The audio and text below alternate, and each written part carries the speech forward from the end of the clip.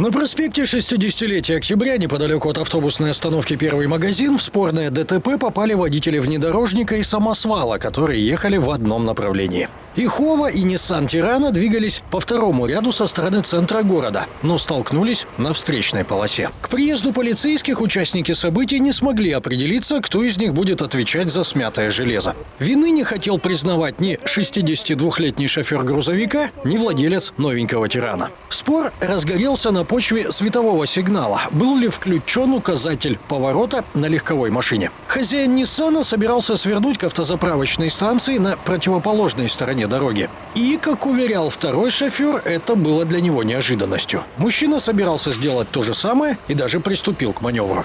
Если был бы поворот включенный, я это вижу, назад у меня есть. Ну, поворачивали, все, снизил скорость, пропустил его, все элементарно, проехал бы дальше. Тут видите как? А он поворотник когда включил? Да его не было повороте, его тормознул и все.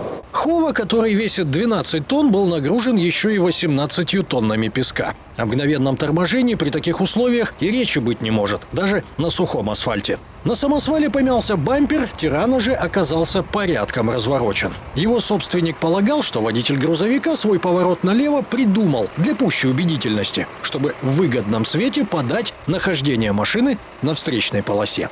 Он рисует без поворотника, это правда? Нет, А, а как было правда? Поворотником. Я думаю, что просто не заметил, вот и все.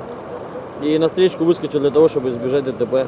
Право на существование имеют обе версии. Оценивать их на соответствие действительности будут дознаватели. Более прочной кажется позиция водителя «Тирана». Вероятнее всего, претензии автоинспекторов будут адресованы шоферу грузовика, как не соблюдавшему безопасную дистанцию. С места происшествия Валентин Борозняк, Татьяна Шамбурова и Павел Рогатин.